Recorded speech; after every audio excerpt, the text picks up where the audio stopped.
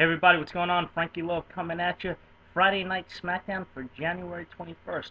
First off, I want to apologize for last week and not making a video. I physically wasn't able in any kind of condition to do one. So here's this week. Last week we saw Wade Barrett's new group.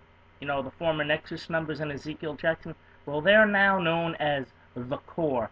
They start off the show with Teddy Long, do a little bit, then Alberto Del Rio is going to defeat R-Truth. And during that match, we're going to see Teddy Long being hauled off in an ambulance with the assumption that the core had something to do with it.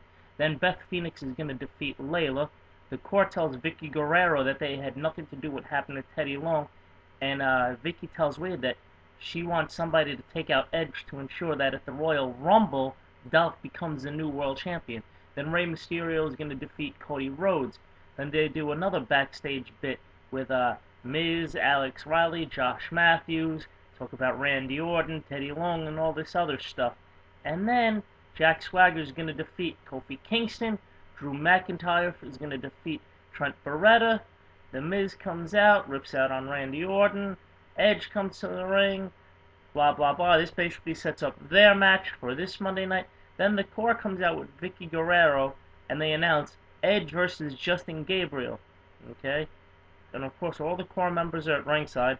Dolph Ziggler is doing the announcing. It's a good match, but in the end, you know, Edge gets into it with the core. Ezekiel Jackson lays out Edge. Gabriel gets a pin.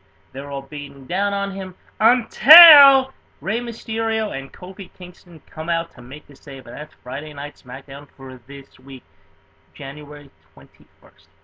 Frankie Love, I'm out. Peace.